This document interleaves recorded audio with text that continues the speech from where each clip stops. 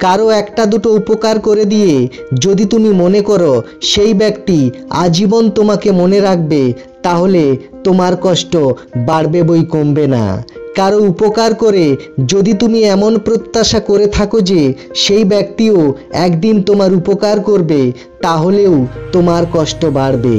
কারও কোনো কাজ উদ্ধার করে দিয়ে যদি ভাবো তুমি না থাকলে তার ওই কাজটি কোনোদিনই হতো না, এমন ধারণাও তোমার ভুল। হ্যাঁ ভবিষ্যতে একজন উপকারী মানুষ হতে গিয়ে যদি তুমি এই রকম ধারণা পোষণ করে থাকো, তবে তোমার ধারণাগুলি সম্পূর্ণ ভুল।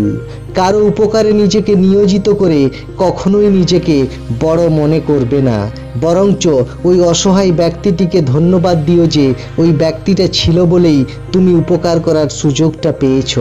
ধন্যবাদ জানাও এই কারণে যে ওই ব্যক্তিদের মতো আরও অনেক ব্যক্তির অসহায় কিংবা দরিদ্র নামক সাদা পাতায় অনুশীলন করে করেই তুমি সামনের দিকে এগোতে পারছ। একজন উপকারী ব্যক্তি হিসেবে নিজেকে ধীরে ধীরে প্রতিষ্ঠিত করতে পারছ।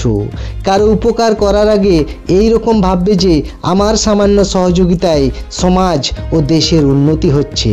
তাছাড়া অন্যের উপকার করলে মনে অপরিসীম আনন্দ আসে, আত্মতৃপ্তি হয়, এরকম ধারণা থেকেও উপকার ব্রতে নামা দরকার।